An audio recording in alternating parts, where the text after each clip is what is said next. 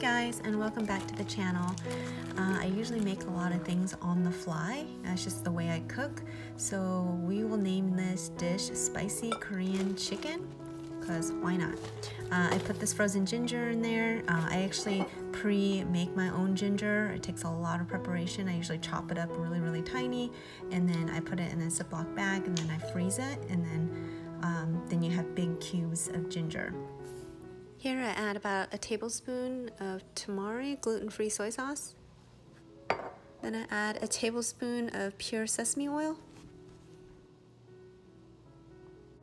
Here I add two tablespoons of Korean red pepper powder, which you can get at the Asian market.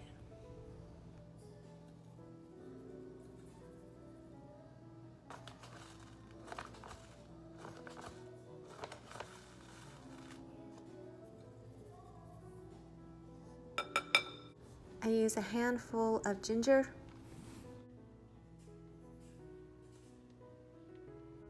I had to nuke the ginger cube in the microwave for a few seconds.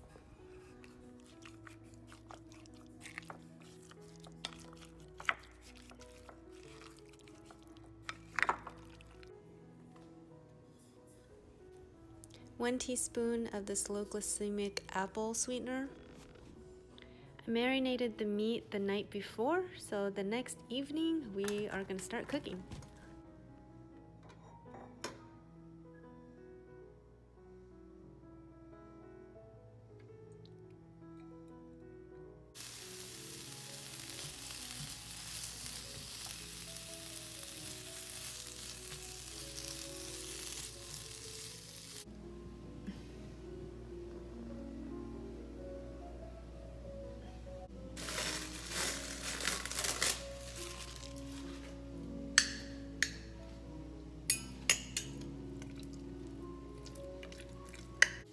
So I only took out a portion for this meal.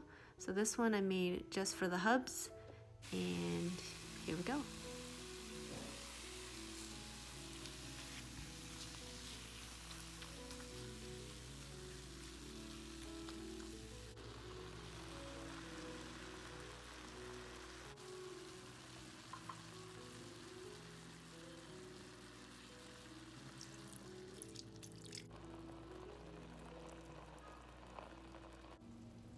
One tablespoon of sesame oil.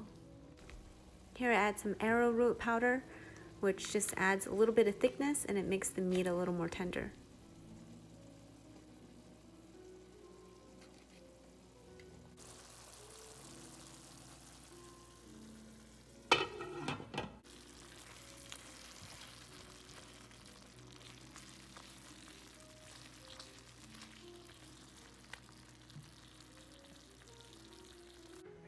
And of course, no Asian meal is complete without a little side dish of freshly homemade kimchi. And this batch was running low, which is why I made a really large batch and I actually made another video, a separate video for that. So when you have a chance, check out that one.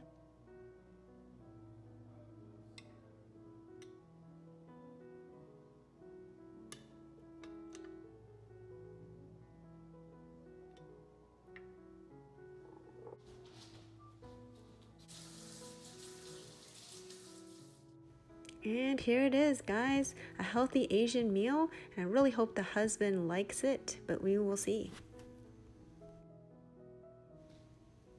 I also wanted to add that this is not my fried rice. I actually got this from my favorite, favorite Thai place uh, in Murfreesboro here in Tennessee. So if you got a chance, go to uh, Pad Thai Cafe. It is really good. It's really good. I like really good chicken.